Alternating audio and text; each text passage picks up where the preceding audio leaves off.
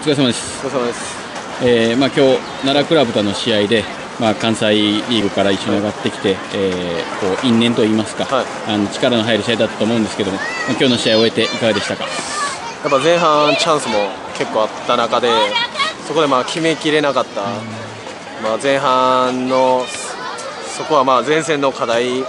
やなっていうのは、いや多分2点入ってたら、多分今日はもう絶対流れもこっちやったと思うんで、まあ、そこがちょっと、まあ、まだ足りないとこかなっていうのを感じました。きつい選手の入ってればっていうのもありましたもんね。いややっぱねそこそこですね決めないといけないんで、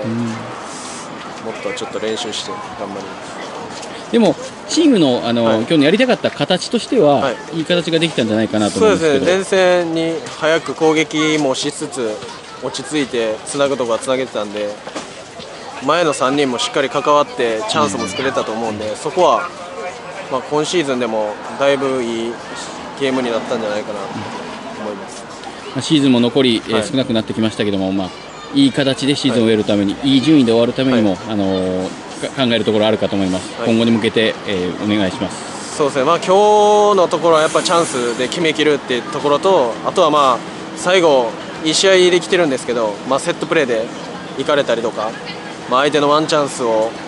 でこう引き分けになっちゃうとか、そういうところをやっぱもっともうゼロで抑えるとか、まあ、前がもっと決めきるとか、そういうところを、まあ、1試合1試合、あと3試合三試合頑張って、えーちょっとでも順位上げていきたいと思います。